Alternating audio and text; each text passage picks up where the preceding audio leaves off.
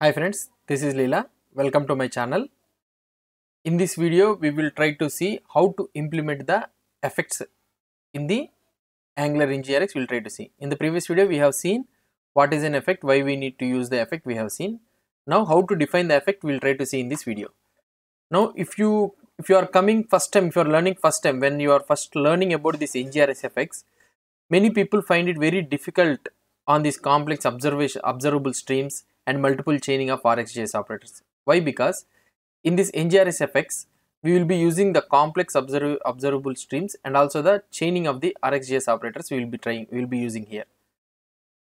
Here now with this presentation what we will try to look is we will we will take a look at bit by bit bit by bit and also the piece piece by piece of implementing the NGRX effects. So now in this presentation we will try to see each step by step how to implement the NGRX effects we will try to see in this video. So we already know that why we are using this NGRX effects, why we are using, so in order to do the side effects. So in order to perform the manage the side effects, in order to managing our side effects, we will be using this NGRX effects. Now what is the side effect we are trying to use? That is nothing but the HTTP HTTP, HTTP calls for, uh, for accessing the HTTP calls, we will be using this NGRX side effects. Now here defining an effect. So how you will define an effect? So how you will create an effect? So first uh, after for creating an effect, effect is nothing but it is creating a service only. So how you will create the service? You will create an effect also. In fact, it is just like any other Angular service defined with an rate injectable decorator at the top of a class. So that means it is just like an Angular service. Just we how we define the uh, Angular service. So uh, by keeping rate injectable decorator at the top of a class, so we'll use like that only. So here, if you try to see, this is the so import injectable. We are importing the injectable and rate injectable export class and the name what we'll be trying to uh, write is that that is nothing but instead of writing the post service or login service you will be using this auth effects okay? So it is just a service only. Now if you try to go here into the next step now this is the injecting actions into the ngrx effects. If you try to see here now in this is a service okay? Login effects or auth effects what this is a service. And in this constructor we are injecting actions okay these actions will come from the import from the ngrx effects. So this is nothing but the, what are all the actions that are dispatched dispatched in the application will come here okay into this variable. And in the and the service whatever the service you want to inject you can inject it here login service. Okay the constructor will inject what are all the dependencies necessary for our effects we will be injecting. So just like the service only. But here one one main thing what we will be injecting is the actions. So actions dollar i have kept the dollar why? Because it is an observable. Okay? Now so as uh, so for notation for observable as a, for the notation i kept the dollar. So there is it is not a mandatory to keep the dollar at the at the end of the variable. So for the notation thing so in order to know that it is an observable variable so i kept the dollar at the at the end. So commonly in uh, in the documentation in the outside external documentation you will be able to see this dollar variable so that by seeing the dollar variable you can assume that it is an observable. Okay so this is how you you will be injecting in the constructor just like the service. You need to know these actions. We need to import these actions which should be imported from the ngrx effects. Now if you go here so we will be creating a variable load post dollar. This is an this is this variable is also this property is also an object. Okay it's this observable sorry. It's an observable. And you will be having create effect. Okay this should be imported from the ngrx effects. It's, it will be automatically injected and in this create effect you will be returning an observable. So this returns an observable.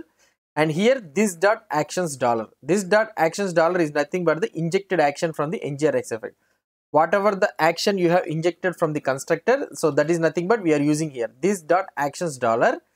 And we are you this dot actions dollar as i already told you that it is an observable. So we can apply the rxjs operators. So rxjs operators how we can apply? Using the pipe operator so using the pipe operator, I have filtered the ofType. Off type is a special type of operator which is present in the NGRX effects. So we will be using this ofType and we, we, we need to filter the action, particular action. Why? Because whatever the action dispatched in our application, it will execute this create effect. And using these actions, in those actions, we will filter the action, whatever the action we need. Now in this, we are writing this filter for the action right? So login right? So what i can write so here i can filter of this login action. So whoever calls that login action this effect will uh, trigger automatically. And here ofType you can see that to filter all the actions with the login action. Whenever the login action is dispatched so whoever will the login action is dispatched the effect will execute by passing through this filter. Okay this effect will execute. So this effect will be filtered. Or otherwise if any other action is dispatched means here it will be filtered and this effect will not be executed further you need to understand this one. So we are filtering the particular action.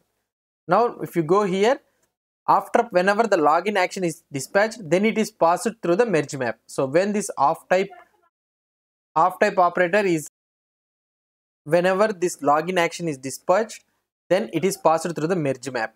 Merge map is nothing but what we can say is merge maps merge map over each merge maps what it will do it will map over each emitted action and calls okay each emitted action and calls the Angular which returns the observable and then merges this observable into a single observable or stream.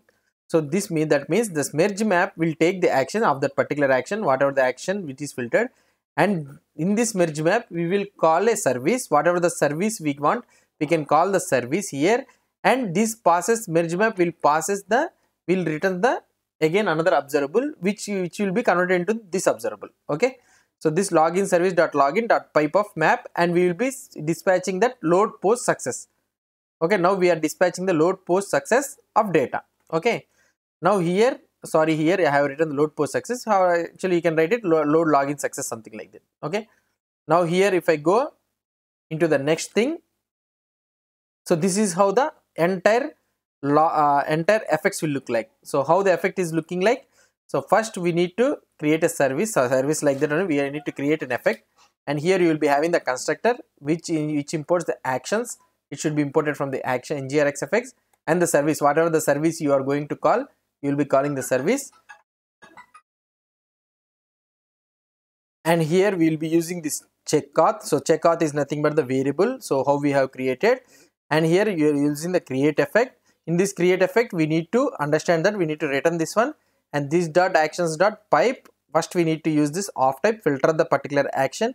And next you need to use the merge map of this action. So so that we will be calling the service whatever the service we want and we can we can emit the observable. So this is how we will be declaring the ngrx effect. So if if here it is fails it is another scenario. If it is success means we will be we will be sending the login success. If it is fails means we, we will send we will see it in the another video so first we will talk about the success success scenario so this is how we will be doing the ngrx effects so now in the next video what we'll try to do is we will try to see the implementation of this NGRX effects, how we can implement the NGRX effects of using this login service. So we have already the email and password with us and we need to send it to the login service and this login service will calls the login API so that if it is success means it will return us the API.